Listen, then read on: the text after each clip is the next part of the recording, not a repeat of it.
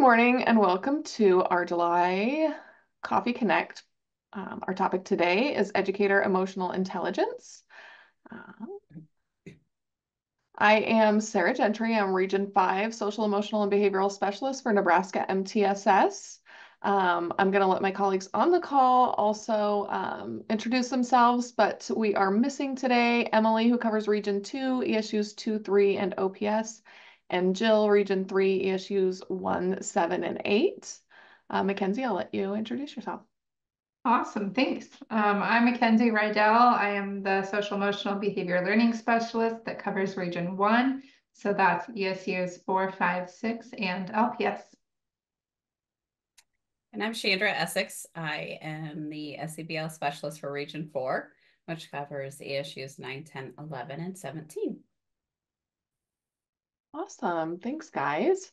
Um, when we do our Coffee Connects and any of our presentations, it's kind of one of the best signature practices to start off with the welcome and inclusion activity. Um, so in the spirit of July and barbecues and all of the fun things that are summer, um, we wanted to just kind of brainstorm and think about what is your dream burger and what would you like on it. So um, kind of get going in this, I will start. Um, if I were to select from this menu here on the screen, I would certainly choose beef. Um, I'm a Nebraska girl, so beef all the way.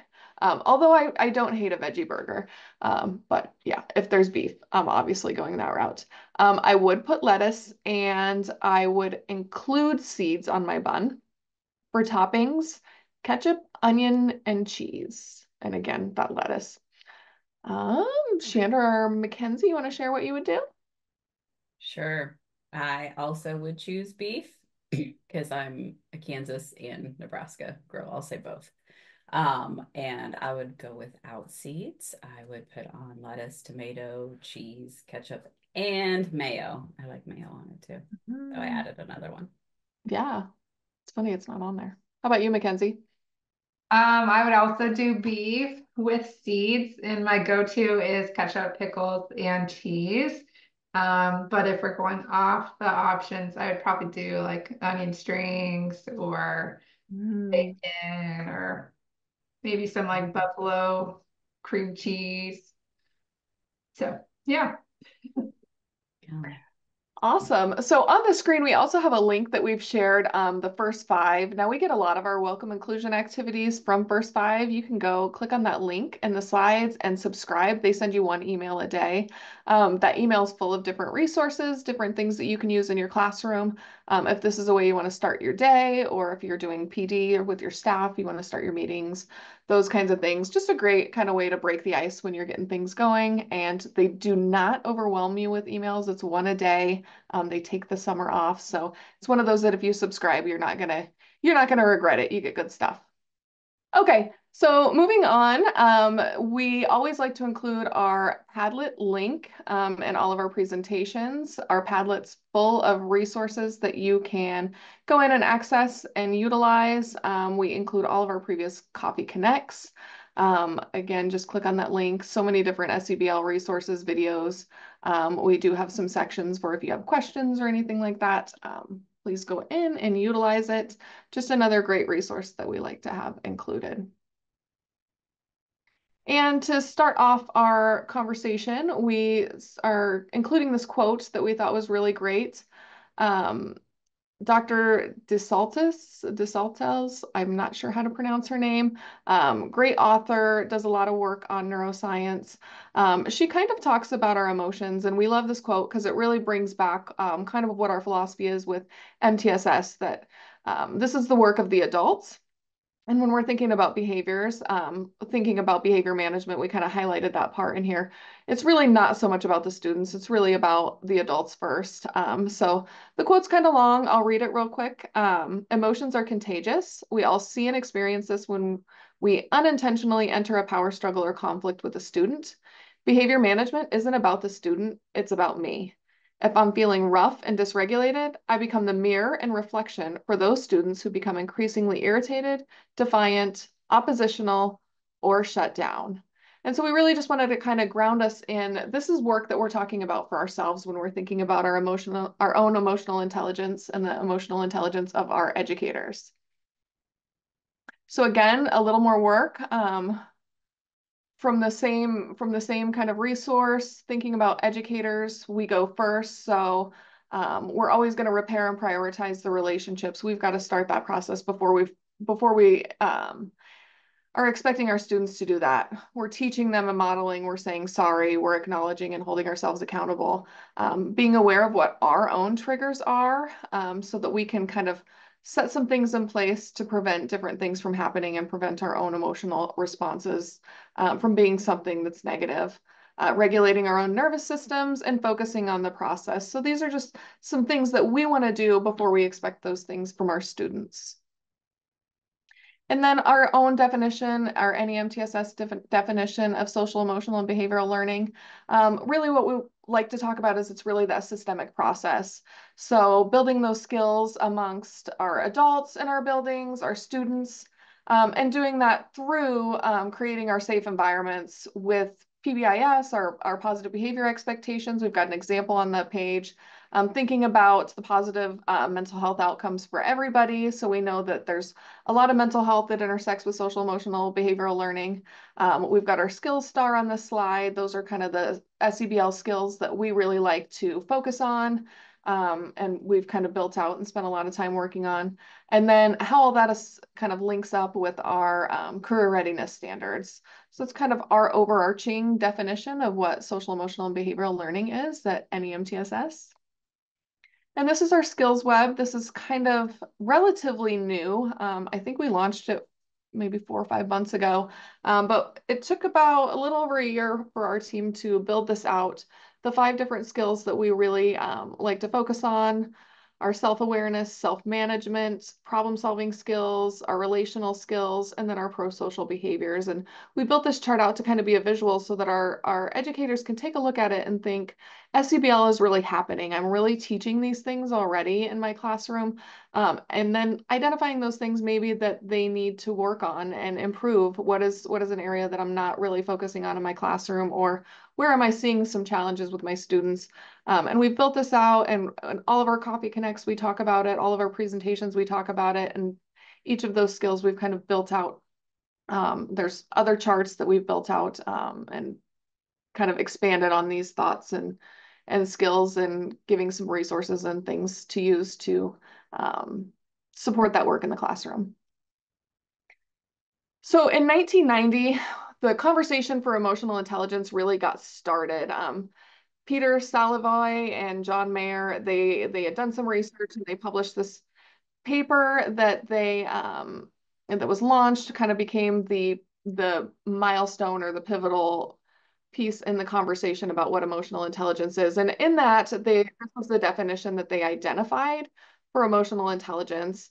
Um, they they called it the ability to perceive accurately, appraise, and express emotion, the ability to access and or generate feelings when they facilitate thought, the ability to understand emotion and emotional knowledge, and the ability to regulate emotions to promote emotional and intellectual growth.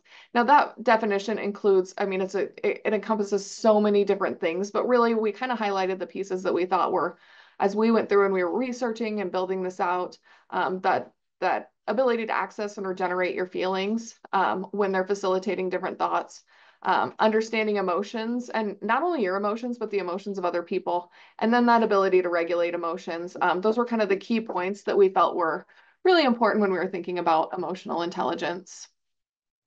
And then these five skills there to the left, um, the social skills, self-awareness, self-regulation, empathy, and motivation, those are all skills that are identified within the research. Um, anybody that has those skills has strong emotional intelligence. Um, so we wanted to kind of tie those in and really kind of talk about the the skills that we've identified for social, emotional, and behavioral learning, and how emotional intelligence just kind of fits all within the context of the same kind of thing. So self-awareness, self-management, pro-social behavior, and those social skills kind of tie in together. Um, self-awareness and self-regulation um, and problem solving, those all kind of go together. And then all of it with that relationship. So empathy um, fits in there self-management and motivation, they just kind of tie in together. So really when we're thinking about emotional intelligence, it really kind of encompasses all of the various social, emotional, and behavioral learning skills that we talk about all the time. Now, thinking about why, why do we want to make sure that our teachers have high um, emotional intelligence? So, thinking about that, when we talked about earlier on uh, as being the educators and going first, we're thinking about the importance of our teachers being able to recognize and regulate their emotions, being able to recognize the emotions that are happening with their students and other stakeholders so that they can do those things like build trusting relationships, um, improve student engagement, and then really generating that stakeholder support. Those are all super important pieces um, in our education journey and making sure that our teachers have the skills that they need for that um, reflecting and monitoring on their own behavior. So that self-awareness piece is very, very big on emotional intelligence. That's what we need. Um, of course, that's going to improve their self-efficacy, uh, professional competencies, all of those things that we really want. Um, and then we want to make sure that our, our educators are flexible and adaptable. Are they able to overcome these new things that happen? There's never two days in education that go the same. So how do our teachers adapt and respond to the various challenges that come into their classroom every day?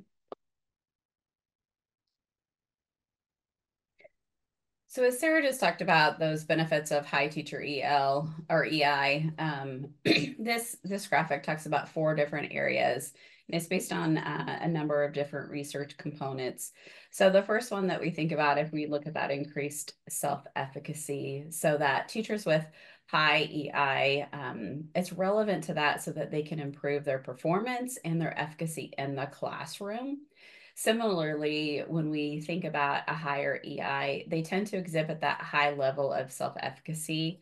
Um, there's a study that participants demonstrated a greater motivation to teach with fewer intentions to quit the profession when you have that high EI. Um, teachers with high EI and burnout um, have also been explored. So in a time that we are at when we think about education and the teaching the lack of teachers, the lack of subs. We want to think about um, we want to think about how we help um, each other, and so that empirical finding shows that teachers with high scores in the highest level dimensions of EI show lower levels of exhaustion or burnout. So again, thinking about what's that motivation and that commitment that leads into less exhaustion and burnout. And then overall, it's improved job performance. Um, so as you think about what those components were that Sarah talked about in regards to EI, which is self-efficacy or self-awareness and empathy, social skills, those are tied directly into that less burnout um, and that improved job performance because teachers have the energy and the focus and the persistence to to work through what's happening in their classrooms every day. so how do we improve those EI skills as teachers?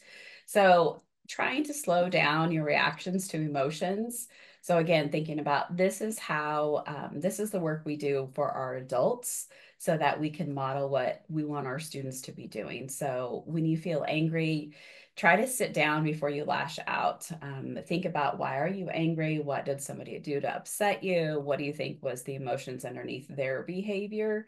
Um, again, when we're driven by emotion, sometimes it's just a reaction. And so we want to think about really what's the intention behind it as best as we can and to pause. That next piece is reflecting on what your strengths are, your areas for growth, um, and what your weaknesses. Knowing yourself really can help with your emotional intelligence around others. What are your triggers going to be, um, and how you can let everybody else around you and play into your strengths. So, um, just knowing yourself, knowing when to ask for help or to offer help. Um, again, thinking about that it's not always a malicious intention that people are coming from when they're thinking about their emotions. Um, sometimes it's just a reaction. And so paying attention to others' nonverbals, um, we know that nonverbal communication is just as important, sometimes more important, um, especially if it's out of alignment with what we are saying. So if you ask someone to help on a project and they agree, but they sound hesitant, maybe recognize that they might be feeling overwhelmed or confused Um, they might come from a different background or understanding that's different than yours. And so it's important to address that and validate um, that feeling before moving on and giving others permission maybe to not help with something. Maybe they feel like they have to. Um, again, it's that recognition of how others are um, and that self awareness for you. And that leads into your high EI. And then finally, working on communicating effectively and openly. Um, sometimes this is a skill that people have, and sometimes this is not. Um, so working on where your strengths are, maybe um, improving your your challenges, but being very clear and cut dry information um, is relevant to the person you're talking to and giving your full attention when somebody is speaking. Um, we think about how many distractions we have when it comes to technology. Um, we're focusing and we're thinking in the back of our mind what's happening there, um, what's happening outside of the classroom, but really diving in and focusing when somebody is speaking, giving full attention to our students, our peers um, depending upon what environment we're in, is really an important component. So the next slide talks about emotional dysregulation. It occurs when the brain responds to the sensory input in a manner that triggers an alarm state. Um, dysregulation of the brain is something that happens um, very quickly. Uh, it because it's registering those emotions um, and it's having that reaction to it. So responding to those emotions in an appropriate context sometimes is very difficult to do if your brain is dysregulated. Um, and knowing what those regulating emotions are in a social situation, we have learned those maybe over time. But if we haven't had good examples of how to control our emotions or how to react in an appropriate setting, um, then sometimes that dysregulation will take over and so thinking about again what Sarah had talked about of we are the role models as adults in the classroom for our students. So if we're role modeling, how do you still make decisions if you're emotionally dysregulated? We'll show students how they can do it. And so emotional dysregulation comes from the thing I want to point out is those triggers in an alarm state. So we thinking about again, what's the environments that we're coming from? What are experiences that we've had? We think about an ACEs score, if there has been some trauma, if there have been some experiences that maybe will trigger an emotional response to a situation that we don't even realize is going to happen. Um, and so it's giving some grace and helping students understand that their emotional dysregulation will happen, but how do we how do we really respond to it? So in this diagram, it talks about there's three areas and three reasons, the physical, the emotional, and the sensory. Um, when we think about emotional regulation, it's kind of like that volume control on your feelings. So when your volume control for the device is high, um, because it's been is too loud around you, that emotional dysregulation that your brain can't regulate those emotional signals. So everything is on high volume, how you respond, what, what your environment's going to look like. And so being able to control that volume um, sometimes doesn't always work like it should. So you want to think about how you can make your emotions maybe not as loud or louder depending upon the situation thinking about it can be harder to manage if you're in a dysregulated state. So if we think about an example um, for learning an example of learned emotional regulation is how children will eventually outgrow temper tantrums. Um, if you have children or smaller kiddos in your classroom as they're developing um, during childhood we think about that tantrums are normal and an expected part of your child's development. But as they get older, they generally learn how to manage those emotions. That's why those tantrums become less frequent and will eventually stop. So, again, it's what those reasons kind of look like. There are a lot of triggers as we think about what are some ways that potentially we get sensory overload. And again, sensory was a piece of those reasons. Um, and so thinking about in your classroom, what are some uh, sensories that can help lessen the emotional dysregulation components? So are there bright flashing lights, bright colors, decorative displays, busy decor, clutter? Sometimes that can be an impact um, to somebody's emotional regulation. So we want to think through that. Again, understanding that it's a environment for our students to learn best, to feel energized. So there is a balance there. Um, you know, strong smells, air fresheners, perfumes, um, cleaning agents, oil diffusers. If we think about how we react to smells, memories, when certain smells come up, again, can impact how we um, are able to control our emotional dysregulation. Um, I think about my daughter who has like an uber sensitive smell and she will smell something. Oh, that smells good, mom. And I'm like, I don't even know what she's talking about. So thinking about how your students might be picking up on smells and then how you also are picking up on smells and how that's impacting your emotions. Sound is the next one. So those fans, um, multiple voices, maybe music, and then thinking about what's the physical. So are there chairs, tags on clothing, um, too tights, you know, what is the, what's the physical touch component? Um, that those can all be possible triggers for that sensory overload. And then if we think about physical dysregulation, um, so when are we hungry or thirsty, lack of sleep, physical or mental illness, infection, lack of exercise, nutrient deficiency? Um, we know in our classrooms and for ourselves that when students become hangry, um, I'm sure everybody knows that word. Hopefully you're you're hungry and then you can get angry. Um, it's hard to focus. It's hard to keep your emotions in check when you are hangry. Because again, thinking about Maslow's hierarchy of needs, that psych- physiological needs are that base. So air, water, food, shelter, sleep, clothing, reproduction, like all of those things are in there. Um, and if you can't be physically regulated, then it's hard to be emotionally regulated. Um, those two go hand in hand.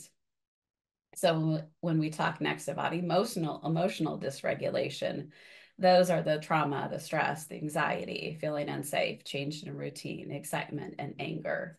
Um, when your brain can't regulate emotional signals, then it is hard to control that volume of your feelings. So when you're dysregulated, your brain makes emotions louder and harder to manage, which we talked about earlier.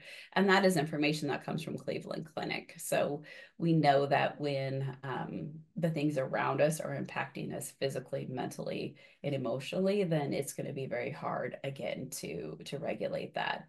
And if we think again about Maslow's, this is that next step up. It's those safety needs um, the personal security, the employment, the resources, the health, the property, all of those can tie into that emotional dysregulation. And safety is a very big piece of that. Feeling unsafe can put a student, can put a teacher um, into a state of emotional dysregulation, which then it's hard to try to learn in that type of an environment. When we think about emotional regulation, we've talked about those triggers um, the physical dysregulation, the emotional. So we want to also think about what's our window of tolerance. Um, and so looking at those, what's your breaking point and understanding that as yourself um, and what's your window of acceptance based on maybe what are your hot button topics, what are your experiences, what have those been? So an example might be, you know, principal asked for staff when they make a referral, write the referral on a scale of one to five of where they were at in their frustration or their tolerance level, a one to five on their calmness level, um, to gauge, maybe to help themselves understand that the impact of their own state of um, frustration and tolerance can impact how you are um, you are interacting, you're re reacting to your students.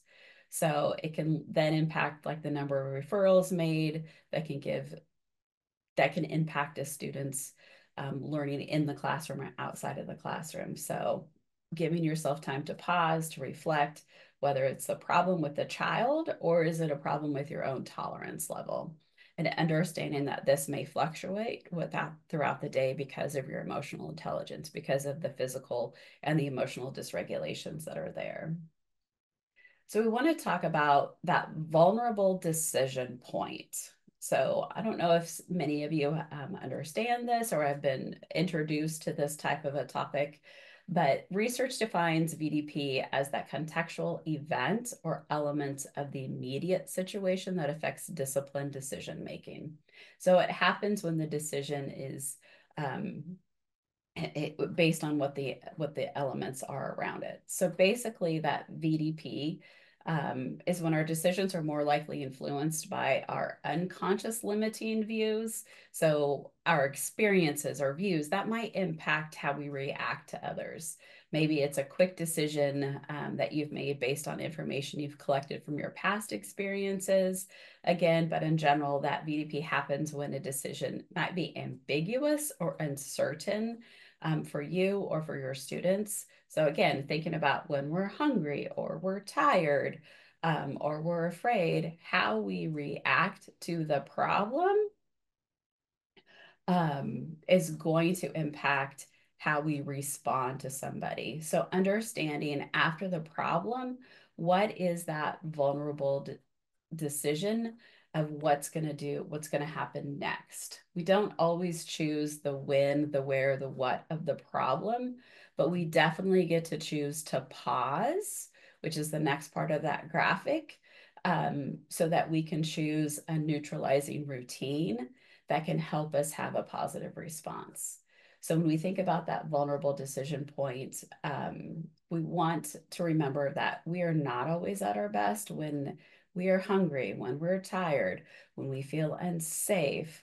And so we want to think about a vulnerable decision point as kind of like that stoplight. What's the problem? What is vulnerable about us to be able to make a dis effective decision in that time? We want to pause. So then we can choose a neutralizing routine that will help us have a positive response.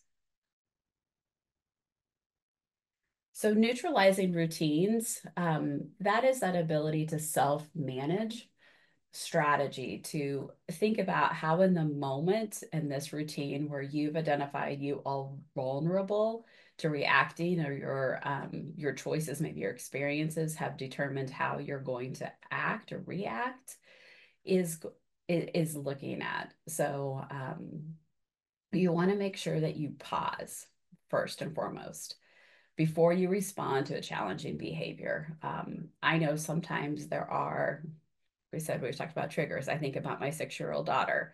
Um, there are some situations that I should pause in when dealing with her before I respond. Um, I kind of skip over this neutralizing routine part and the pause. And so I know my reaction is not going to be as beneficial. Um, so it takes practice. We have to really think about um, where we are at in that moment and 100% being focused on what our response will be because the, the goal is to decrease the amount of times you are just reactive and it gives you that ability to be autopilot when things get stressful that it gives you the ability to pause and to think about okay why am i going to react this way? Is it because of a past experience because of um, what is surrounding us and then how can I choose a routine? So is it um, a deep breath? Is it uh, walking away from the situation? To then be able to come back and to give a productive, supportive behavior towards the student that's going to align with their values. Um, so thinking about how we do this is really important to get ourselves back on track so that we can really continue to move forward. So when we think about a neutralizing routine, you might want to ask yourself to what extent have I taught the student that expected behavior? Again, thinking about that prevention is key. So we want to teach, teach, teach.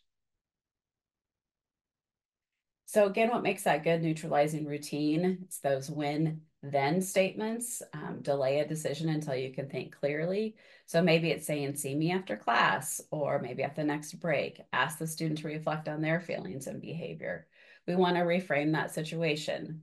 Maybe you say, I, I respect you, but that behavior is not okay in our classroom. Can you tell me how we do things in our school? Again, thinking about how you taught them, what is the prevention of teaching, reteaching them, giving them those clear steps, making sure they're doable, and then interrupting that chain of events. Again, thinking about that pause. Um, taking care of yourself is really important when you're thinking about that, that step of a vulnerable decision point and then that neutralizing routine. You want to take two breaths, model a class-wide um, class-wide cool down strategy. So is it okay? We know that things are tense and things are, um, we're reacting emotionally right now. Let's all take a deep breath, stand up and stretch, um, get your brain and physically engaging your body so that it will help regulate your brain.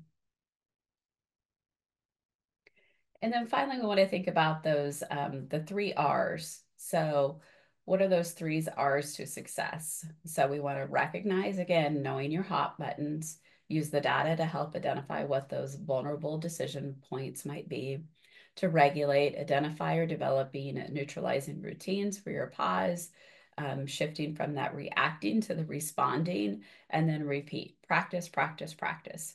Make it a norm for you in your classroom we know that the more we practice something, the more it becomes second nature. And then that helps interrupt that natural response we might have and create a new path of a response. Um, so when we're dysregulated, we can get back to regulation in a faster model. All right, I'm going to bring us home. Um, so we're just going to go through an example of what a vulnerable decision point can look like. Um, and just keep in mind that we identify and we come across vulnerable decision points multiple times every single day in various different situations. And so really, like Chandra talked about, um, it's kind of revolving around that self-awareness and that self-management, those um, social emotional behavioral skills, because it does take intention and it takes practice, um, but it starts with that identification. Um, and the whole point of thinking about and learning and reflecting on vulnerable decision points is to help us gain more control and awareness. So we're able to shift into responding intentionally to things that happen instead of reacting to things that happen. Because as you know, um, you probably feel it in your everyday. Um, as you go throughout your day, sometimes of the day are easier, sometimes you might be running out of patience or even like times of year. I think of um, February is a really long month because there's often not a lot of breaks, and we often see um, rises in our behavioral data during that time. Um, and so using that information to sit back and reflect and say, hey, what can we do to be more proactive, to be able to respond maybe preventatively or respond more effectively when things are happening um, that can be more effective, that can create safer communities for our um, school building. And so the scenario here, um, you're reflecting on your data and maybe just how you're feeling, and you realize that your content block before lunch often has more office referrals. So say you're in a middle school and your your eighth grade lunch is the latest lunch at 12:30 and you have the last period before that and it's always just a little bit squirrely and everyone's kind of hungry and you're just really ready for a break. Um, and your data is showing you that there's more office referrals. So maybe the behaviors are up in that classroom, yes, and maybe that's a vulnerable decision point for those split decisions when you might be able to benefit from that pause and that neutralizing routine. So now that you've understood and you've reflected, you under you understand that's that vulnerable piece, that vulnerable point. Um, so moving forward, you're going to think about how can you utilize neutralizing routine um, during that time. So um, intentionally thinking and planning about what you're going to do, anticipating that time is common for vulnerable decisions. Um, and so then you, um, during that time, you would pause when you see you're kind of running low on patience or things are happening and use that neutralizing routine. So just an example of what that could look like is walking away, going to a different part of the room, and then maybe coming back and having a private conversation with the student. Um, so what this might be different from before that pause, maybe before you went through this process of thinking and reflecting, is calling the student out, maybe in front of the class or across the room, or um, the way that you're using your language might be more like, I don't like it when you're talking to me. And then after that reflection and using that neutralizing routine, you're able to come back, have a private conversation, maybe use some more effective language. So identifying what are we valuing in our classroom and how does that impact um, our classroom environment.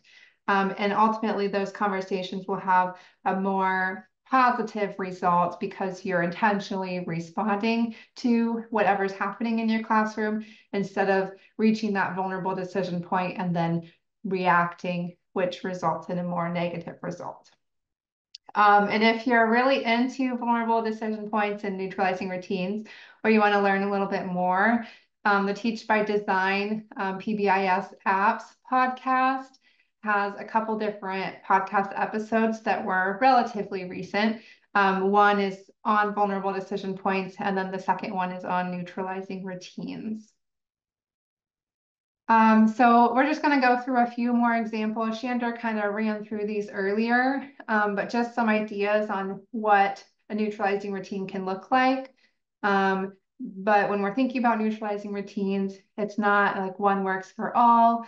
It's just figuring out like what works best for you to be able to take that pause and kind of um, regulate yourself before you're responding to um, the situations. So um, this one is just try with an acronym um, T, take three deep breaths, R, recognize your emotion, and Y, act in the youth's best interest. Um, so if, if you're being really intentional and planning about um, how are you using those neutralizing routines, um, then you can just kind of whip this out through practice of using that in the moment. The next example is delaying the response. Um, I think sometimes we use this a little more naturally. Um, and so having that um, one-on-one -on -one conversation, hey, let's talk after class or at the next break. Let's have a conversation instead of trying to talk in the moment. Um, asking the student to reflect on their feelings or behavior, maybe using some of those restorative questions. Um, what's going on? How are you feeling? How might others be feeling? Um, you can use that moment and that pause to self-reflect, to think about your values and the values and expectations of your school and then kind of gather your thoughts for how that conversation might look.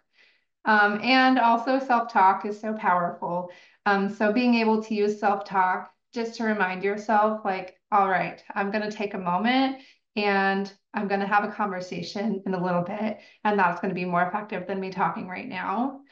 Um, and I know this can be difficult to do in the moment. Um, I know I find myself using self-talk a lot with my toddler because um, it's easy to um, both get um, kind of that back and forth, which never goes well.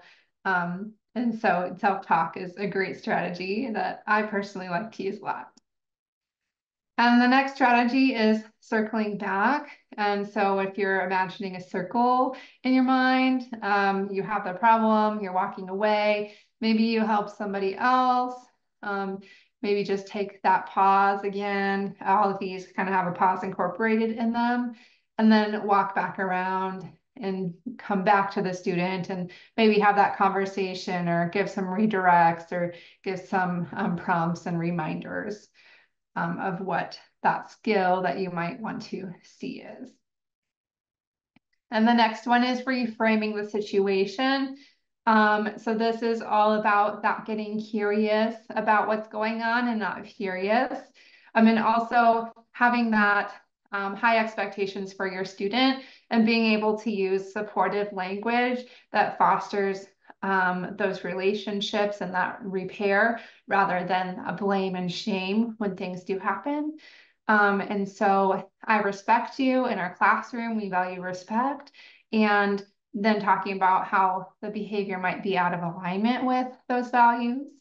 Um, asking the student to come be part of the conversation. So um, let's talk about our expectations at school and what that looks like, and then give them the opportunity to share.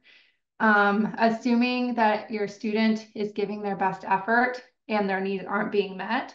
And so instead of um, putting that blame on the student and assuming they're doing things maybe on purpose um, reframing that in your mind of saying, okay, what needs aren't being met that I can do better at meeting those needs. Um, responding as if the student was physically injured. Um, I think sometimes we get into the um, thoughts of like, oh, they know better, they should do better. Um, but then like taking that step back. And I know when we're escalated, that's really hard. Um, but taking that pause and then reframing it often gives you more of a response than a reaction. And then responding, reminding yourself um, that school behaviors might look different than home behaviors. And maybe that opportunity, that teachable moment of these are the expectations and the things we value in our school and our classroom. And that might look different than the expectations and the values in your home and community. Um, and then uh, just a little reminder to take care of yourself um, because we know that we need that co-regulation. Um, students have a really difficult time regulating if their adults in their environment aren't regulated. And so being able to recognize your feelings and your emotions and your tolerance level and being able to intentionally kind of bring yourself down from that or being aware of when you need help, when you need to call call somebody in or maybe tap out um, for a minute or even utilize that modeling strategy for your whole class. Maybe you do a class step, class-wide cool down strategy or a GoNoodle or, or something where your whole class gets to experience that pause. Um, and then we just have a couple resources for you. On this last one, mindfulness micro practices. If you click on that link, there's a ton of different examples of some, they call them micro practices. So they're quick and easy practices for mindfulness. Um, and we like to talk about mindfulness as being paying attention on purpose to the present moment. Um, so it doesn't have to be like this whole big, I'm gonna have a dark room and I'm gonna do some meditation and like be mindful. It can really just be like as you're arriving for the day, like how are you intentionally paying attention to um, what's going on in the present moment so you can really hit that like baseline of regulation. Um, so that link has a great uh, couple examples that you can use. And then this last slide here is just a couple books to support the work um, if you're wanting to learn a little bit more. Um, we have three different books, Emotional Intelligence for School Leaders, um, Connections Over Compliance, and Permission to Feel. Um, I'm a big fan of Permission to Feel. It's a really good book. I almost finished it and then my dog ate it. Um, ate it enough to where I probably should just buy a new one, but I haven't quite yet. Um, but I like to give a give shout out to that book there. And then as always, we like to start with our welcoming activity and end with our optimistic closure. And so I'm just thinking about what is something that's still circling in your mind and what can you do to help calm, understand, or resolve that thought. So that's just a personal reflection. We'll have you do that. Um, and then you all can go about your day. Um, and then just our contact information. Um, if you have questions or if you need any support, you can always reach out to us and we would be happy to come and help you out um, in your schools. Thank you.